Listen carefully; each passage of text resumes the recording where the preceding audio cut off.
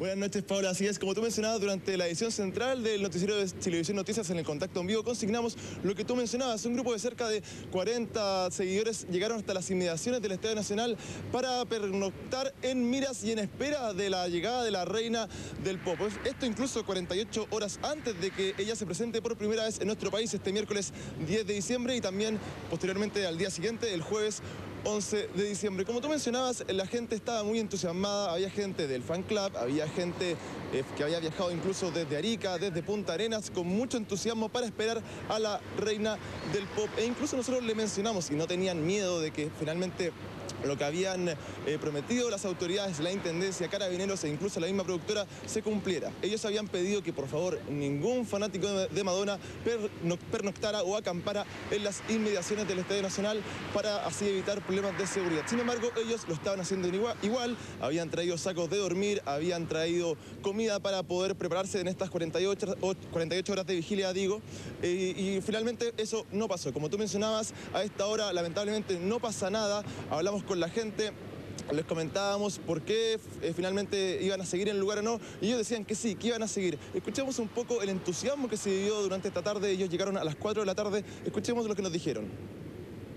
Hay gente que ya llegó a las 8, 8 de la mañana, que tiene ya el número 1, yo tengo el número 9. Y... La idea es venir antes para al momento de hacer la fila quedar lo más adelante posible y quedar lo más adelante del escenario también, lo más cerca posible. Eh, mira, la idea es lograr la mejor ubicación posible dentro del concierto. O sea, se está pagando casi 180 mil pesos por una entrada y, la idea es quedar adelante nada y tener una buena ubicación. Bueno, así es, Paula, como veías en las impresiones de la gente, ya estaban muy entusiasmados, se iban a quedar, finalmente no lo hicieron, la fuerza pública pudo más, fueron desalojados a eso de las 10 y media de la noche, cerca de las 11, obviamente de la forma más tranquila, para poder así evitar los problemas de seguridad que pueden traer este tipo de mega conciertos. Recordemos que este miércoles 10 de diciembre será la hora de las 5 de la tarde cuando Carabineros y también el Estadio Nacional abrirá las puertas para que la gente ingrese al Estadio Nacional. También a las 8 el DJ, el destacado DJ Paul Oakenfold será el encargado de así calentar motores para que la gente se vaya entusiasmando. Y a eso de las 9 y media de la noche será cuando finalmente todos los fanáticos podrán disfrutar la presentación de la Reina del Pop por primera vez en nuestro país. Paola. Daniel, y en el lugar sigue en este momento carabineros para ver de que no vuelvan otros nuevos fanáticos a instalarse ahí.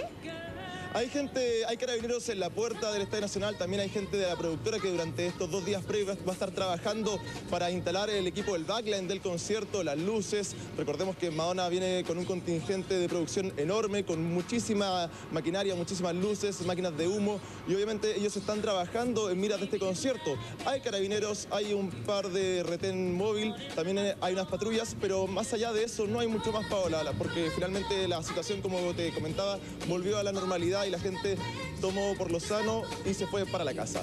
Les duró poco ahí a los fanáticos entonces, Daniel. Muchas gracias entonces por tu informe. Buenas noches. Buenas noches.